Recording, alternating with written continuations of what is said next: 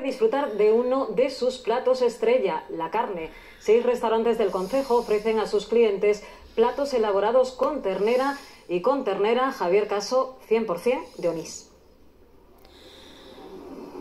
Eso es, la iniciativa se enmarca dentro de ese plan de sostenibilidad turística, que es toda una apuesta por el ecoturismo que ha puesto en marcha este Concejo de Onís y que tiene uno de, uno de sus ejes centrales es precisamente la promoción de esos productos locales. Estamos en un municipio eminentemente ganadero, con unas 45 ganaderías, todas ellas en extensivo, productoras de carne, una carne que tú comentas, Silvia, se está cocinando a lo largo de este fin de semana de muy diferentes maneras en esos seis restaurantes, fundamentalmente son, fundamentalmente son guisos es una primera edición un tanto experimental, la materia prima ha sido puesta a disposición de los restaurantes por parte del Plan de Sostenibilidad Turística, pero que desde luego nacen con clara vocación de futuro, ya que es toda una apuesta por ese producto de, calidad.